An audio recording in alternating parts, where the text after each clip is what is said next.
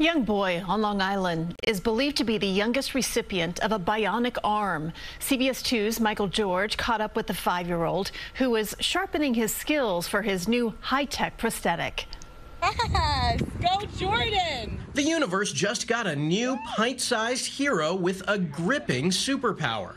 Riding a scooter has never felt so secure for five-year-old Jordan Marotta thanks to his new robotic arm, fashioned after his favorite Avenger. You like it?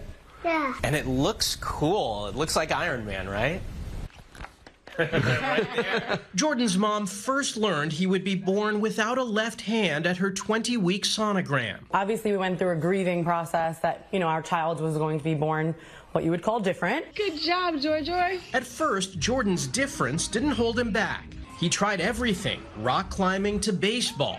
He even figured out how to zip up a jacket. But his mom says that changed as he got older. More emotional. There have been a lot of nights where he's gone to bed crying, asking for two hands. So the Marottas reached out to the UK robotics company Open Bionics.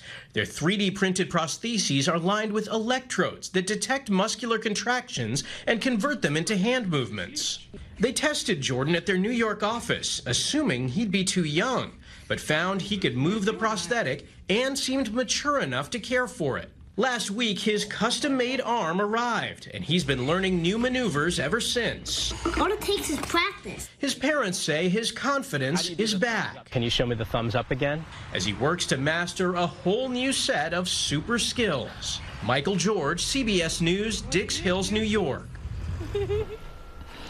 Takes about a month for Open Bionic to produce a hero arm, and they run on a 14-hour rechargeable battery.